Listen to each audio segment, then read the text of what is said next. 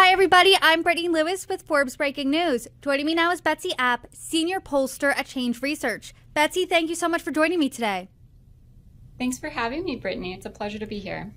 It is a pleasure to have you. And before we dive into the conversation, can you explain what ch- uh, Change Research is? Absolutely. We are a public opinion research polling firm, and we work with forward thinking clients uh, to assess public opinion in a variety of areas. I lead up our candidate coordinated side of our polling team. I work a lot with campaigns, candidates, issue campaigns, um, but we do a variety of public polling, public opinion polling. If you can remember, if our viewers can remember, back in 2016, there was almost this reckoning with polling. Major polls suggested that Hillary Clinton was going to win the presidential election. Obviously, that didn't happen. So, how has uh, polling, in your opinion, changed since then? That's right, Brittany. I think that public opinion polling was in a state of crisis or in a state of flux uh, back in 2016 in the wake of the Trump victory that pollsters didn't necessarily anticipate. Change Research was founded in uh, in that period of flux.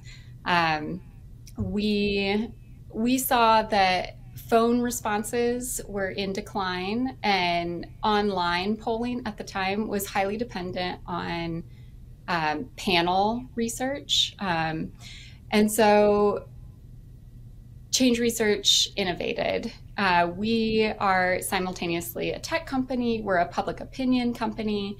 Um, we have a full stack engineering team who developed a propri- proprietary methodology for recruiting poll samples that uh, gets around the many challenges of traditional polling methods. Our philosophy is that we need to meet uh, people where they're at um, and where they're at is constantly changing. And so that's our goal. Let's talk about where they're at because we're seeing this younger generation of, of, voters coming up between millennials and Gen Z. And these two generations, you could say, are chronically online. So, how do you poll them? How do you adapt to that generation?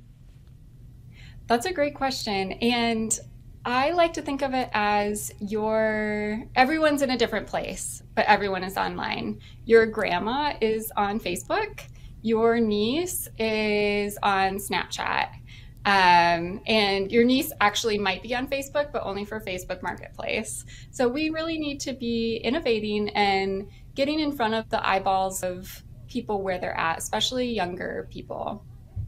When you're looking at voter tendencies as a whole, how are you seeing them changed generation to generation? Let's say Gen X and boomers on one side and millennials and Gen Z on the other.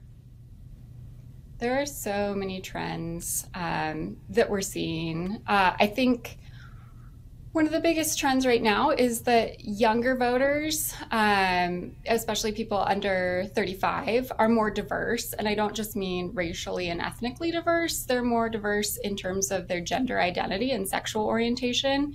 In fact, we're finding that a third of voters under the age of 35 um, identify as being members of the LGBTQ community, and about a quarter of that, about 25% of younger voters, identify as bisexual. Um, other groups like Gallup, other, public opinion um, research groups, are finding that that number is slowly increasing.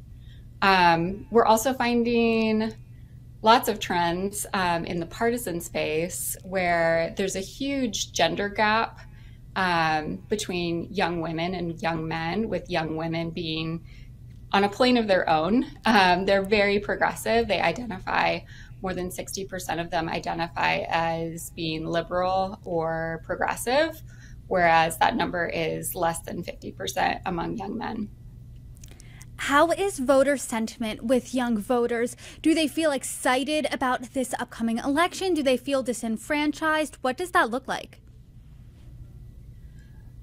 They have their vote motivation is far lower. Um, so, just as an example, among voters under the age of 35, only 50% of them that they are 10 out of 10 very motivated to vote. Compare that to voters over the age of 50, it's 80 plus um, percent saying that they're very motivated to vote in the in the November 2024 election. they're feeling bored uh, with the candidate options that they have, and they're not particularly excited about um, who they're seeing at the top of the ticket. What issues, when you're polling younger voters, do they care about most? What is driving them to get out and vote? Younger voters are very economically sensitive right now um, com- compared to older voters. So, inflation, the rising costs of essentials like groceries and gas, that's really important to younger voters right now, as is the high cost of housing. They're spending a lot of their income on rent um, and if they're lucky enough to own a home on, on their mortgage. Um, so they're very economically sensitive. Beyond that, they're really interested in protecting the climate. Um, so they're interested in combating climate change. They're also very interested in um, student debt cancellation and uh, reproductive freedom generally. When you're looking at this younger sect of people heading to the polls, does anything surprise you as a expert pollster? Yes, I am surprised by just how dissatisfied younger voters are with Joe Biden. Um, objectively, the Biden administration is uh, perhaps the most progressive on paper, but younger voters are not. Uh, they don't agree with that and they don't see it. Um, they're very dissatisfied with the president right now. They are really surprisingly open to voting for third party options because they're just not happy with Joe Biden or Donald Trump as their presidential choices right now. That's really interesting because you're seeing a lot of uncommitted votes across the country. People rather voting for no one opposed to Joe Biden. Obviously, that's not the majority. But when you're saying you're surprised at the dissatisfaction, do they do these younger voters want President Biden to be more progressive? Do they think he's too moderate?